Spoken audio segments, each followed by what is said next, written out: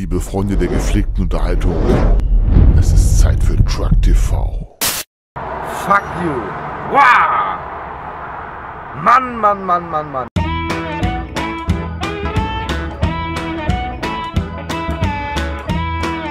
Es ist wirklich so zum Kotzen in diesem scheiß Land. Bist du aus Holland raus, kommst nach Belgien und Belgien ist noch schlimmer. Jetzt machen die mitten der besten Zeit, wo man hier durchfahren kann, eine schöne Baustelle im Tunnel, wo sie alle durch müssen. Ich weiß nicht, ob das auf eine Spur ist. 20 Minuten Verzögerung stand auf der Uhr oben an der Anzeigetafel.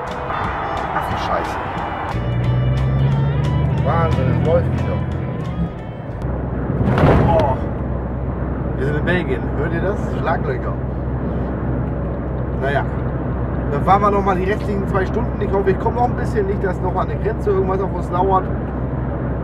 Dann ist Schlaf angesagt und dann sehen wir uns morgen früh.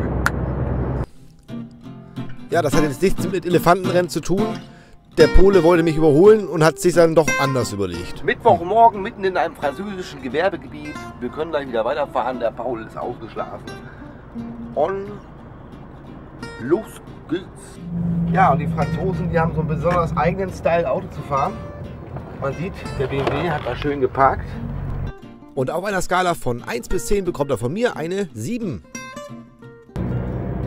Und damit man den Müll besser sieht, mähen die Franzosen nochmal schnell die Rasenkante.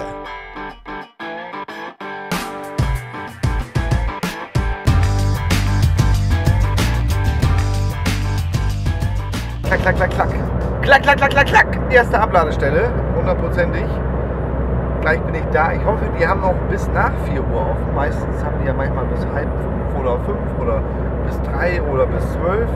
Das weiß man ja nie so genau. Ist nicht viel, sind bloß zwei Paletten. Aber wer weiß, wer weiß. Schauen wir mal. So, los geht's durch die kleinen Pipi-Nester von Frankreich. Die sind manchmal ein bisschen eng, solange keiner entgegenkommt, dann geht's natürlich, aber eng ist ja ein dehnbarer Begriff. So morsch wie die Häuser aussehen, kann man da bestimmt so durchfahren wie durch einen Pappkarton. Ja!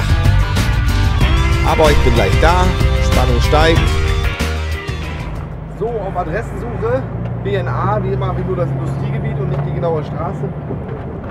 Das nervt immer so ein bisschen, weil das Industriegebiet ist natürlich groß. Aber ich glaube, hier vorne ist es auf der anderen Seite. Muss mal hingucken, wie ich da hinkomme. Und rumpelig ist das hier. Aber ganz schön. So, jetzt eben schnell wiegen. Ja, und gleich in die Pförtnerbutze rein. Da sitzt aber kein Pförtner drin, da sitzt so ein Computer, der einem dann irgendwann anzeigt, welche Telefonnummer man anruft. Und von der Telefonnummer aus wird einem dann gesagt, an welche Rampe man kann oder wo man hin muss. So, Wiegepapiere habe ich auch und los geht's, abladen. So, einmal schnell über den Hof, an die Rampe, die ganze Krütze abladen und tschüss Leute. Jetzt Richtung Dietmar und Uwe, da treffen wir uns.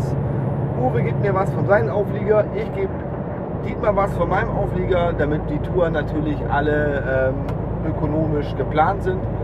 Und dann mal gucken, ob ich noch eine Stunde weiterschießen kann. Wäre ja geil. Ansonsten Sleeping.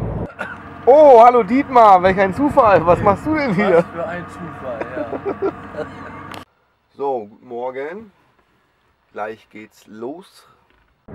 Ab zum Atlantik. Ich kann jetzt endlich durchstarten. Es ist morgens, Donnerstagmorgens, 7.55 Uhr. Und es geht ans Meer. Jau, ab zur Abladestelle und ein Augenblinzeln und schon sind wir da. Wenn das in echt doch auch mal so wäre und wenn in echt das Tor auch so schnell aufgehen würde wie hier. Aber naja, egal. Weiter geht's zur nächsten Abladestelle, beziehungsweise zum Laden. Ja, ich bin in Brest. Hier hat mir Opas Kollegen auch mal einen Stützpunkt. Gott sei Dank ist die Zeit vorbei. Und ich fahre hier zu einer Ladestelle. Dann fahre ich noch mal ein bisschen um die Ecke. Stelle mich 24 Stunden auf den Parkplatz und mache Augenpflege. Danach gibt es dann eine Restladung und dann ab nach Schleswig-Holstein und Telefon. Warte mal, warte. Oh.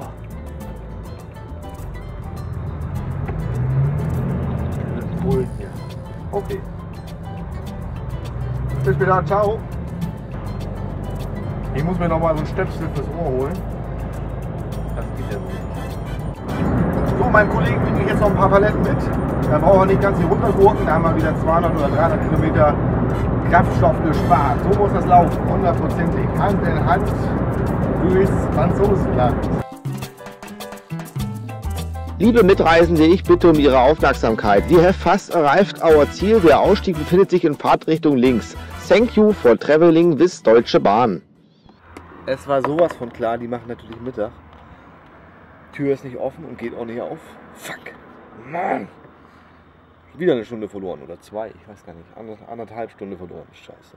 Yo, es gibt Chivapchichi. Dann koche ich mir jetzt halt erstmal was zu essen. Chivapchichi von der Firma Bus, Freizeitmacher. Pikante Hackfleischröllchen mit Balkangemüse und Reis. Bin ich mal sehr gespannt. Vielleicht, be bevor ich es in die Mikrowelle stecke, kann ich es vielleicht noch mal kurz zeigen. Da kriegt man doch direkt Appetit, oder? Hä? Hm. Ah, das ist so richtiger ein kul- kulinarischer Ausflug, würde ich sagen. So, nebenbei noch ein bisschen Fernsehen gucken. Zum Beispiel der Mops oder die französische. Krümel, was machst du denn da? Diagnose, schwere Ja, sieht doch gleich ganz anders aus, ne? Schmeckt aber gut. So, ich habe geladen, aber leider nur für mich. Für Dietmar konnte ich nichts mitbringen. Es war noch nicht fertig. Vor 6 Uhr wird das nichts, sagte der Blumenkohl. Ist natürlich scheiße für Dietmar. Ich, äh, er musste jetzt extra hingucken und da nochmal warten und kann wahrscheinlich auch gar nicht mehr so weit fahren. Aber ich muss weg, weil ich hinten da stehen muss, wo ich hin soll, damit ich morgen meine Pause voll habe. Tut mir leid, lieber Dietmar. Fuck. Scheißwetter!